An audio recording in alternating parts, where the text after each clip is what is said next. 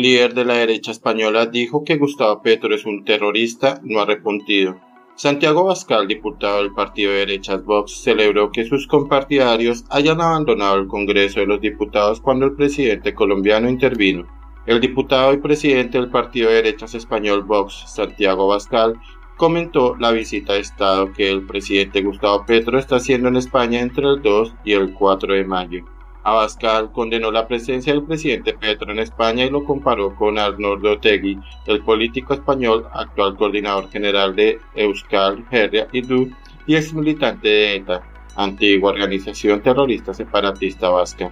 También reparó en que el presidente Petro, antes de su viaje a Madrid, despotricó España para que después le hayan puesto una alfombra roja.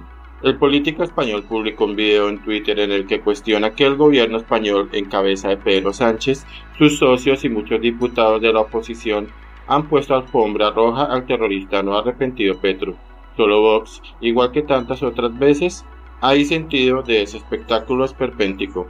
España merece otra política internacional y señaló que muchos españoles desconocen el pasado del presidente Gustavo Petro.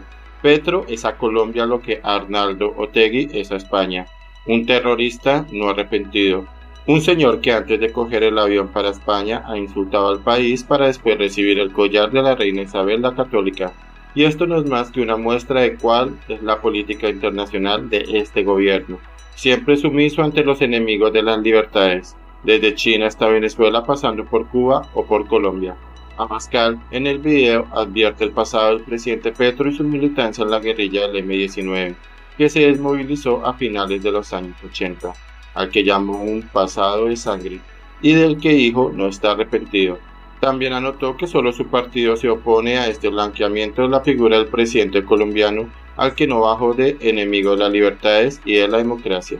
Además, este señor tiene un pasado que no se puede ocultar, un pasado de sangre, un pasado que ha dejado dolor, que ha dejado muertos en Colombia y un pasado del que no se ha arrepentido y que nosotros hoy queremos condenar con este gesto.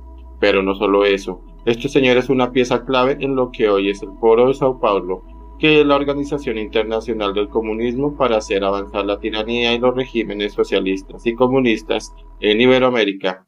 Y por eso hoy nosotros nos unimos a parlamentarios de todos los países de Iberoamérica están firmando un manifiesto a través del Foro de Madrid en contra del blanqueamiento que supone la figura de un enemigo de las libertades y de la democracia.